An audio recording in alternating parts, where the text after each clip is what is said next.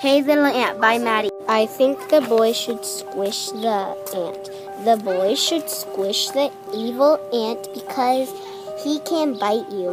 The the boy should squish the ant because they can take your tasty food.